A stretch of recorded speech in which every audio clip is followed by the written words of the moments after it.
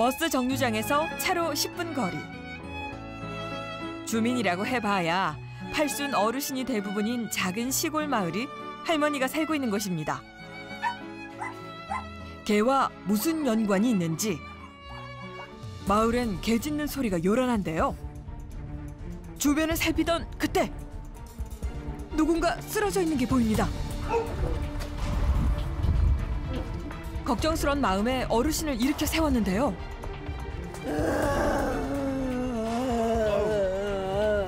속상한 일이 있는 듯 길 위에 누워 울고 있는 할머니는 뜻밖에도 버스 정류장 할머니입니다. 이, 왜? 이, 이유야 많지만은 응. 개면만 데리고 산다고 이렇게 죽일 수가 있느냐 감기 걸려. 이거야 나는 개 때문에 억울한 일이 있었다는데요. 내가 나 여기 노인회관 올 권리가 있다 나도 어? 내가 애들 때문에 못하 그렇지 나올 권리가 있는 여자야 나라에서도 오는 쌀이고 술이고 다 처먹고 살면서 대체 무슨 일이 있었던 걸까? 어머니 일단 들어가시죠. 어머니 여기 비와 들어가서 얘기해요. 저는 내가 쓰러졌네 여기서 일단 가셔. 일어나셔. 집 어디로 가? 어. 아, 집으로 가셔 일단. 일단, 일단 어머니 감기 걸려. 비, 비 맞으면. 내 몸 한, 하나는 죽어도 괜찮아 겨우 할머니를 진정시켜 집까지 모셔다 드렸는데요.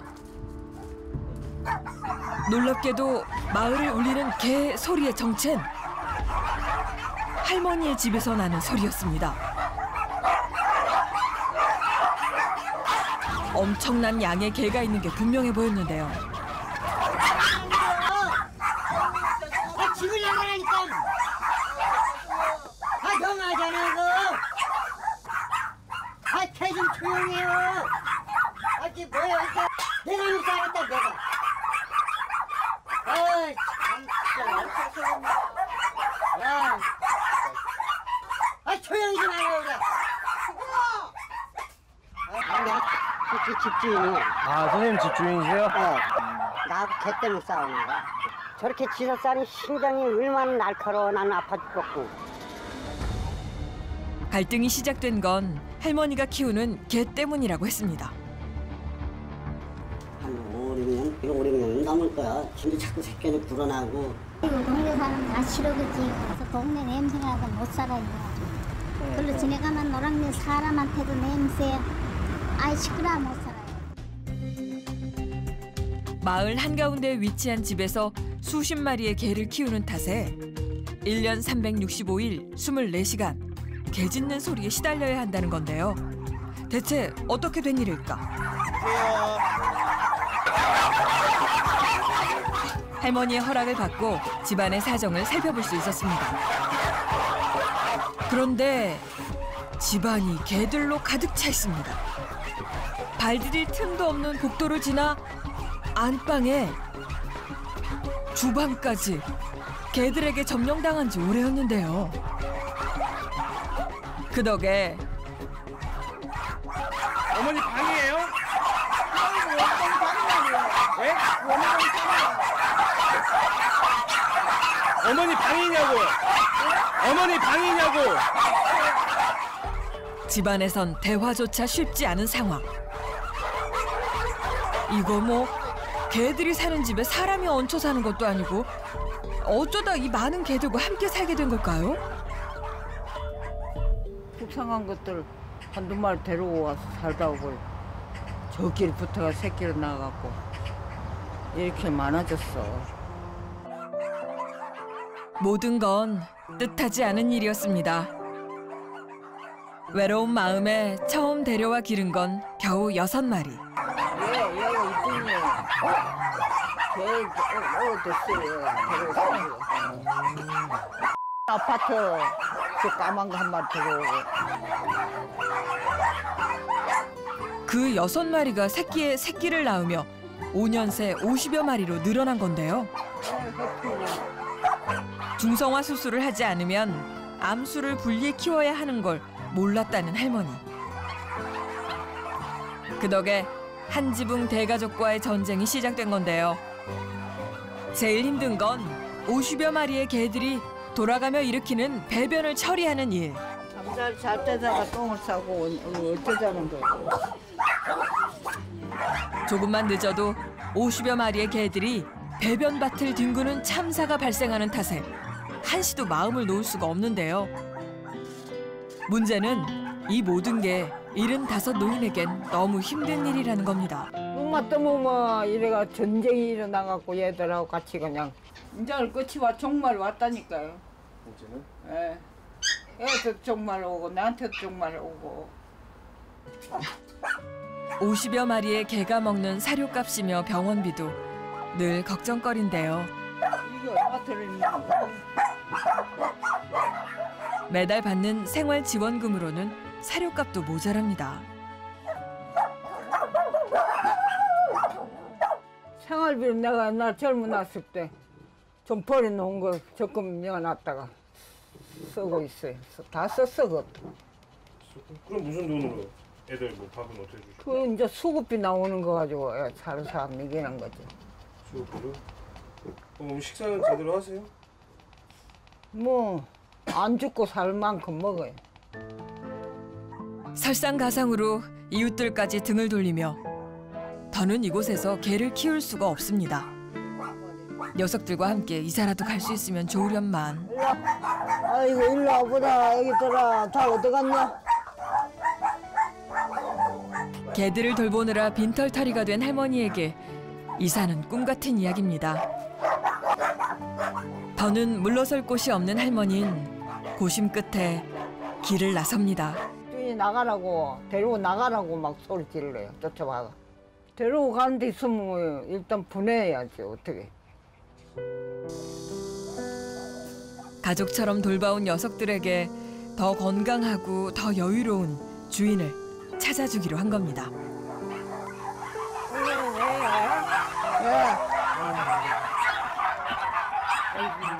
녀석들을 데리고 가는 일은 이웃 주민이 도와주고 있었는데요.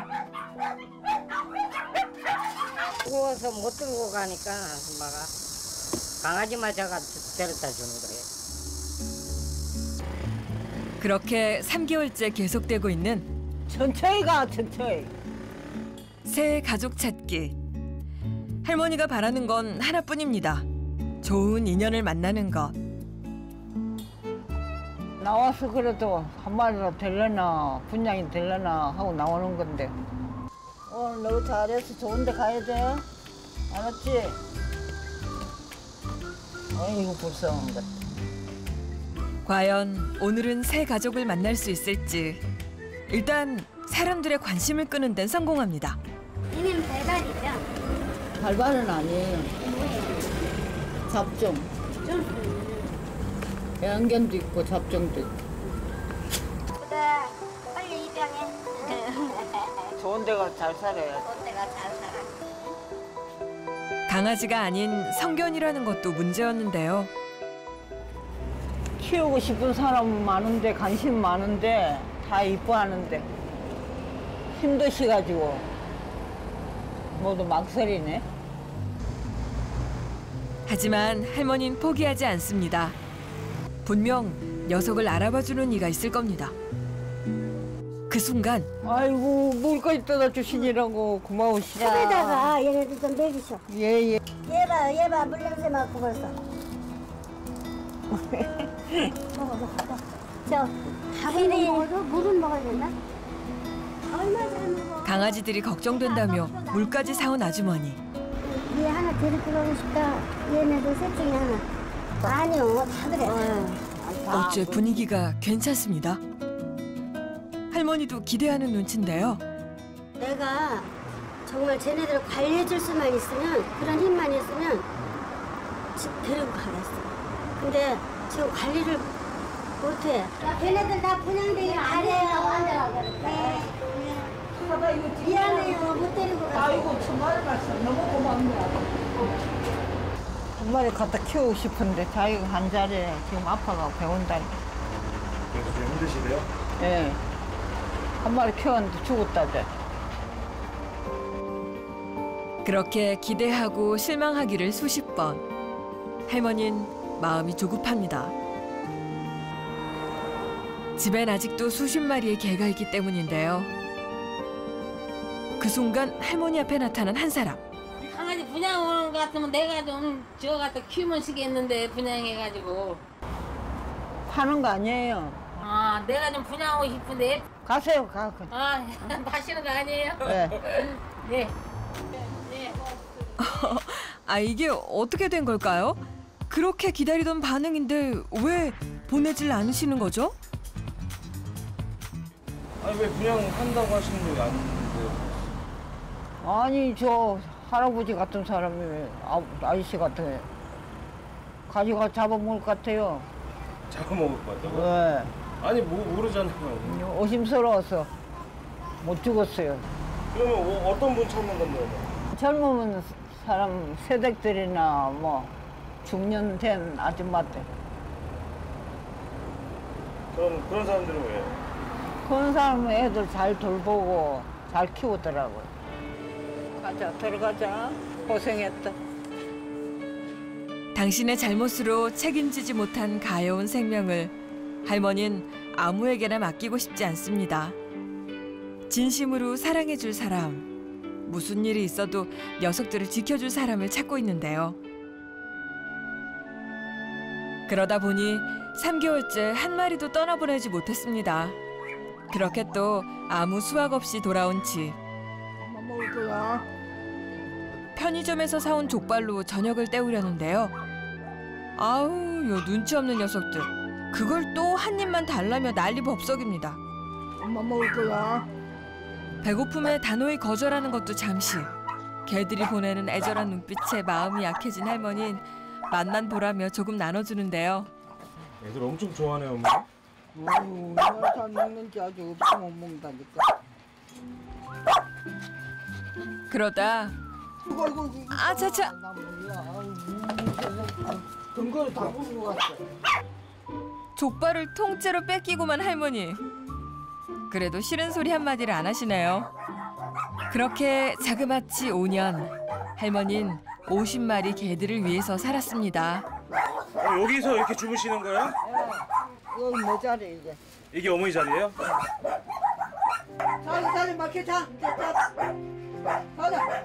그런데 이젠 더는 함께 할 수 없다니 할머니는 마음이 무겁습니다. 다음 날 할머니가 눈을 뜨자마자 제일 먼저 챙기는 것도 밥. 바로 개들의 사료입니다.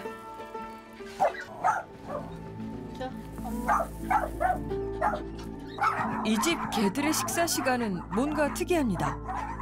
바닥이며 침대 위까지 온 사방에 사료를 뿌려주는데요. 뭐 이렇게 주세요? 예. 아 그릇에 이렇게 주셔야 되죠. 그릇도 그 이만한 그릇이 없고 그냥. 그릇이 없으니 정해진 양도 없습니다. 집안의 50마리 개들에게 아침을 챙겨주자마자 또 바삐 어디론가 향하는 할머니.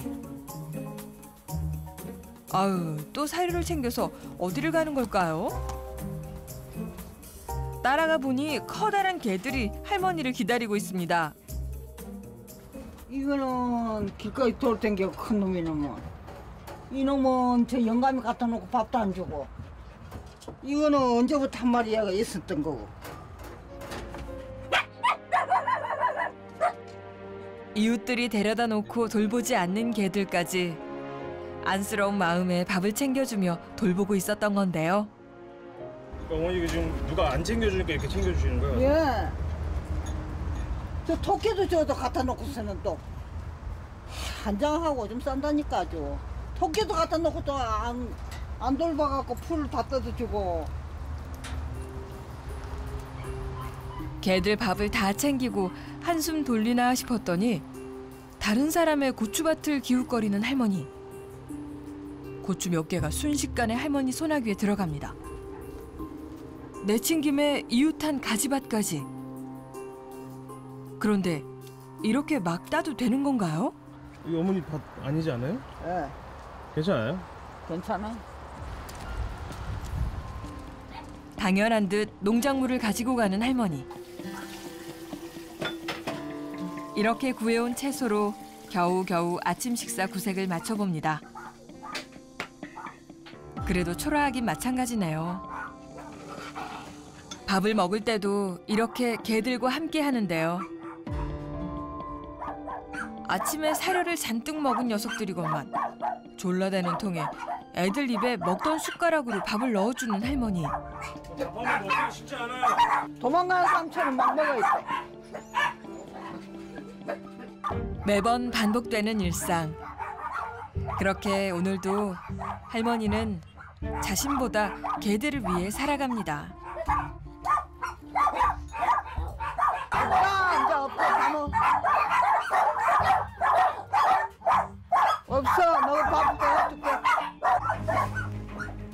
가장 큰 문제는 이 많은 녀석들 중 한 녀석이 짖거나 한두 녀석만 싸워도 50마리 전체가 짖기 시작한다는 건데요. 다 같이 짖기 시작하면 그 소리가 얼마나 큰지 온 동네가 개 짖는 소리로 시끄러울 정도입니다. 진정에 나선 할머니 호통을 쳐보지만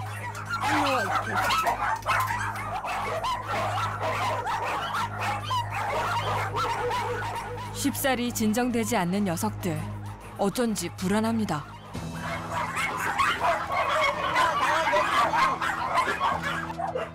왜요? 결국 개 짖는 소리 때문에 집주인이 찾아왔습니다.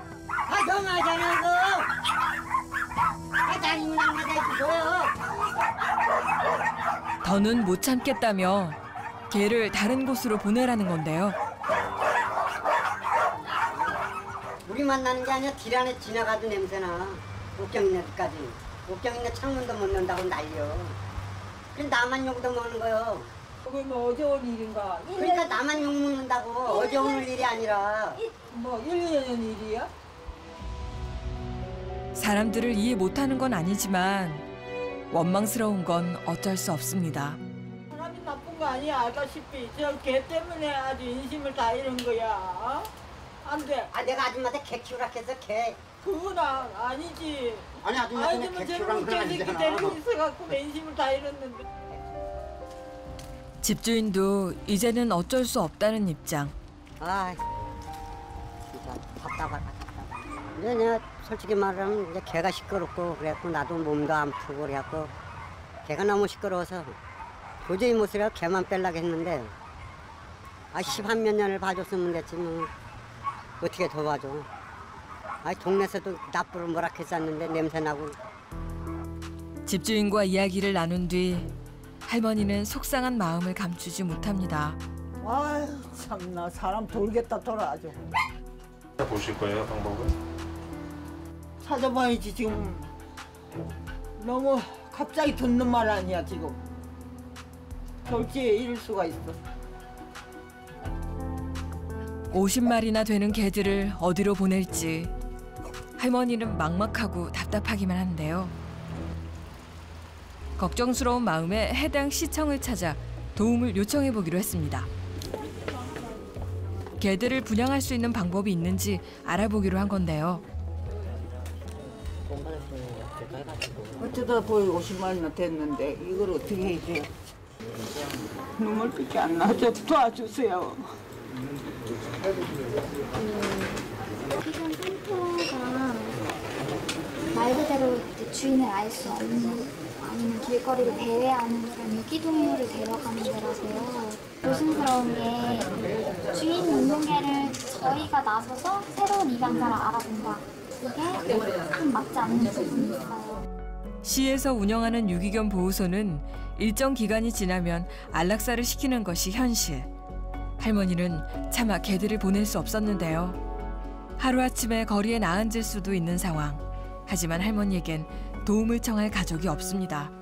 수초모 괜히 죽패는 거야 아주 이유도 없이 이 새끼 놔두고 도망친 거지 내가 딸 둘 낳았는데 부산 산다고 하더라 그 말만 들었지 뭐 전화도 왕래도 없고 그래서 외로워가지고 이렇게 개들을 하나둘씩 이렇게 어, 하나씩 하나씩 이쁘고 불쌍하고 아휴 단지 그거야 그 결과가 이렇게 초래될 줄 몰랐어 끔찍했던 결혼 생활. 할머니는 살기 위해 도망칠 수밖에 없었습니다.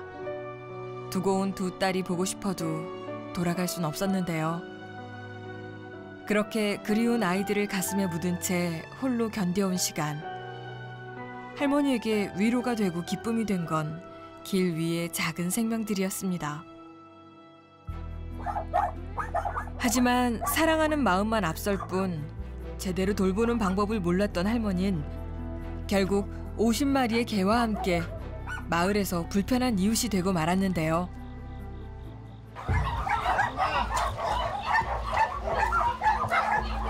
결국 또 일이 터지고 말았습니다. 더는 참을 수 없는 마을 주민들이 항의하러 온 건데요. 말안 했는데 안할 수가 없지. 어쩔 수가 없긴 뭐 어쩔 수가 없어 그거를. 내가 언제 아줌마한테 뭐개 아니면 생전 뭐라고 야? 힘들어서 안 어, 된다. 거꾸로 아줌마가 집주인이고 내가 세입자락 해봐. 그걸 생각해봐. 아줌마는 나 뽑가 죽일 거야 아마. 그거는 말할 거. 에, 아무튼 빨리 좀 어떻게 해결 좀 해요. 나 바빠가지고. 죄송합니다. 예.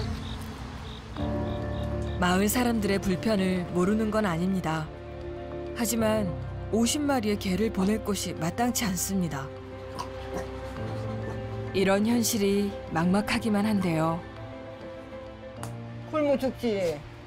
굶어 죽고 교통사고로 죽고 텔레비전 그러더라고 막. 그리 주머니 개 죽음 당하니 아무리 개라고 목숨이고 생명인데 그것도 함부로 할 수가 없잖아. 그렇다고 개들과 함께 이사를 할 수도 함께 거리에 나앉을 수도 없는 노릇입니다. 그날 저녁 한동안 고민에 빠져 있던 할머니가 갑자기 개들을 안고 집을 나섭니다. 심상치 않은 분위기. 도대체 무슨 일일까요? 어, 갈 데가 있으니까 따라오지 마세요. 신경이 잔뜩 날카로워진 채로 대체 어딜 가시는 건지 어쩐지 할머니의 모습이 위태로워 보이는데요. 그런 할머니의 뒤를 따라 도착한 곳은 이웃 마을의 한 농장이었습니다. 아이고 새끼들 불쌍한 것들 어디서 왔냐? 응? 부모 잘 만났어. 좀 오래 살 수 있는데 얘들 좋은 주인 만나가 아무나 달라 한다고 주지 말고. 이 농장에 녀석들을 두고 갈 생각이신 걸까요? 한참이 지나도록 녀석의 손을 놓지 못하는 할머니. 결국 아이고 불쌍한 것들아. 와. 아프지 말고 잘 살아. 아이고 내 새끼들아.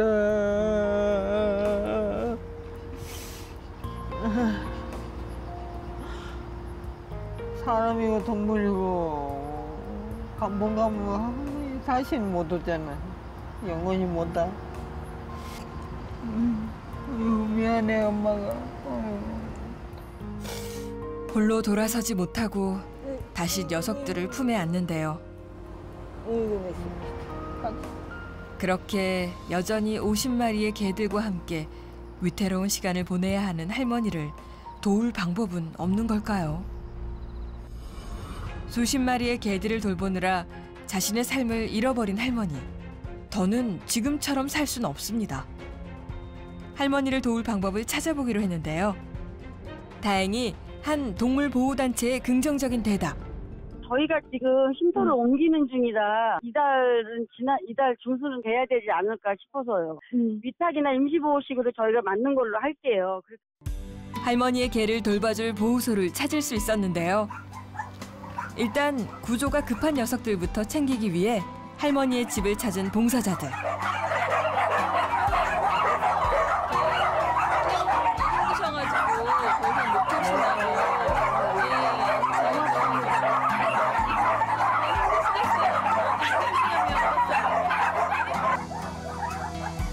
동물보호단체에서 쉼터 이사를 마치는 대로 할머니 집의 강아지들을 조금씩 구조해줄 계획. 그에 앞서 면역력이 약하고 긴급 구조가 필요한 강아지들을 먼저 보호하기로 했습니다. 너무 너무 예쁘다. 너무 예쁘다. 내 둘보기 이쁘다고. 잘 키울게요. 네. 네, 걱정하지 마세요. 엄마 못 지켜줘서 미안하다. 할머니는 살기 위해 소중한 개들을 보낼 수밖에 없습니다. 슬픈 이별 뒤 할머니와 개들에게 더 소중한 인연이 찾아오길 기대해 봅니다.